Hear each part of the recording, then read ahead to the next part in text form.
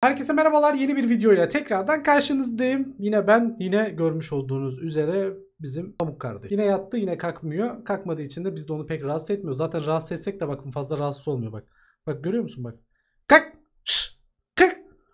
Kalkmıyor. Biz de onunla beraber videoya devam etmeyi planlıyoruz arkadaşlar. Kaldığımız yerden devam ediyoruz ve ekleme yaptığım iki adet coin'i sizlerle paylaşacağım.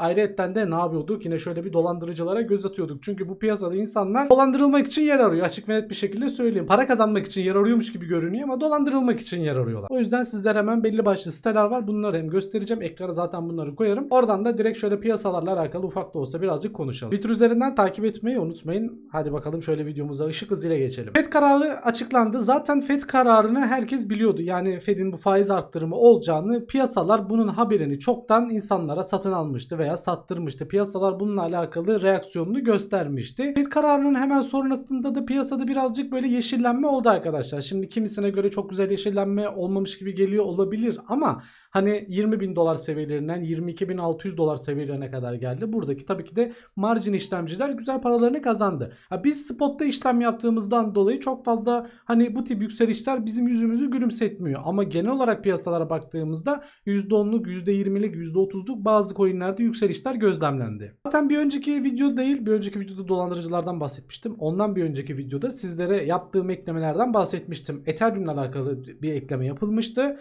Ethereum'la alakalı tekrar tekrardan bir hani daha doğrusu ekleme değil de bir satın alma yapmıştım orada sıfırdan.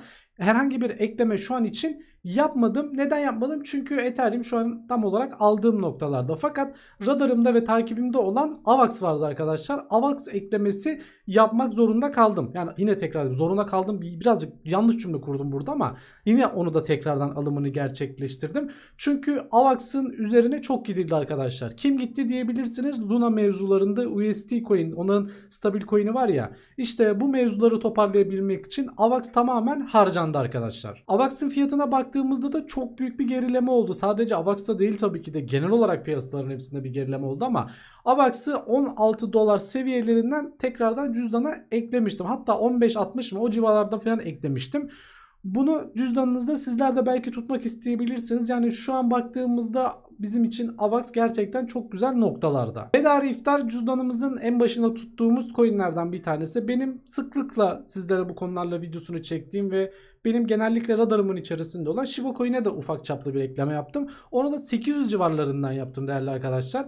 Şu an baktığınızda çok fazla bir şey yok. Yani aslında ekstra bir karları yok ama bizler genellikle spot işlem yapan insanlarız. Yani kumar mantığında bu işleri sürüklemediğimizden dolayı mümkün oldukça spotumuzda eklemeleri yapmak zorundayız. Ekleyeceğiz çünkü piyasalar bunu gerektiriyor. Hatta şöyle bir veri şöyle bir istatistik de var değerli arkadaşlar. Küçük yatırımcılar yavaş yavaş piyasadan kaçmaya başladılar. Bunun verileri nasıl anlayabilirsiniz? Mesela uygulamaların bu istatistikleri paylaşılır kripto para borsalarıyla alakalı çoğu uygulamanın yavaş yavaş silindiğini yani %20'lik bir kısmını kullanıcıların %20'lik bir kısmının bu uygulamaları sildiği verisi piyasalara paylaşıldı.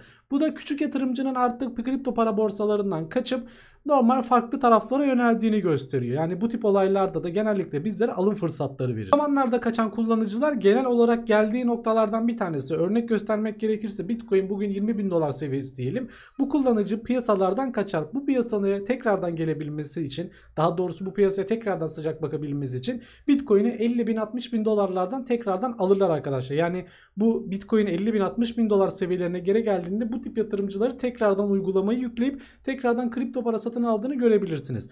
Tabi onlar da bunu alırken biz o sırada komple malı elimizden satıyor olacağız. Bunlar yaptığım risksiz yatırımlardı. Yani bunlar risksiz olarak gördüğüm yatırımlardı. Bir de sizlerle birazcık fazla riski olan yatırımlar var. Bunları da tabii ki de ilerleyen zamanlarda çok yine titizlikle böyle araştırdığımdan dolayı ekleme yaptığımda sizlerle paylaşacağım. Şimdi bir de dolandırıcı mevzulardan bahsedeyim isterseniz. Kriptoadam.com üzerine gönderdiğiniz ve benim sizlerle paylaştığım projelerle alakalı. Bir tanesi Tesla Video Media.net. Bu tamamen Tesla ile alakalı bir bağlantısı olmayan şirket. Zaten tasarımına falan baktığınızda çok basit bir şekilde hazırlanmış. İnsanları bu sistemin içerisine sokmaya hazır bir site. trx679.com 898trx.com Turusa.firm.com öyle bir tane daha site var. Bunlarla alakalı zaten ben sizlere ekran görüntüleri paylaşırım. Bu arada yine web sitemizi mutlaka ziyaret edin. Günlük bir kere bile olsa girin yenile yapın. Bakın içerisinde neler paylaşılmış neler var. Boş boşunuza bu dönemde paranızı kaptırmayın. Bunlara kaptıracağınız parayla gidin bir tane Binance'tan öylesine bir tane coin alın. Zaten bu size kazandırmasa bile paranızın komple kaybolacağı anlamına gelmiyor arkadaşlar. Ama bunlar atmış olduğunuz sistemdeki paranız tamamen ortadan kayboluyor ve geri dönüşü olmayan paralar oluyor. Konularla alakalı sizlere anlatabileceğim olaylar bunlar. Kafanıza takılan herhangi bir şey varsa yorumlardan yazarsanız elimden geldiğince yardımcı olmaya çalışırım. Bir sonraki videoda görüşmek üzere hoşçakalın. Kendinize çok iyi bakın.